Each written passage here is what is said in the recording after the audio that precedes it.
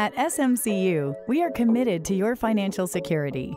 To keep your information safe, we have a variety of advanced security features.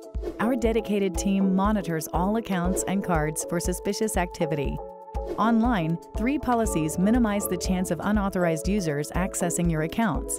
First, your online and mobile sessions are automatically logged out after 15 minutes of inactivity. Users are also locked out after three unsuccessful logon attempts. Logging in can be done via fingerprint or facial recognition on compatible phones.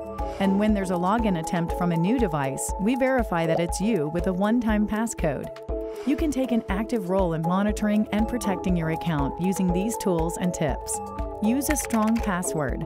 This means a few things. Choose a combination of uppercase letters, lowercase letters, numbers, and special characters.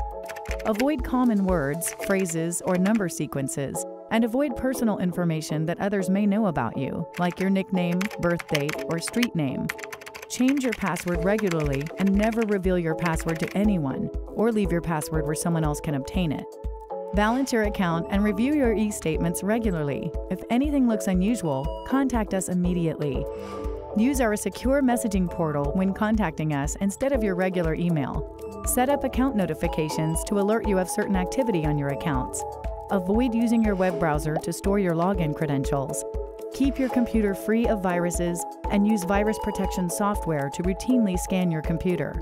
Don't open email attachments coming from people you don't know. We take extensive measures to protect the security of your accounts, giving you greater security and peace of mind as you manage your money.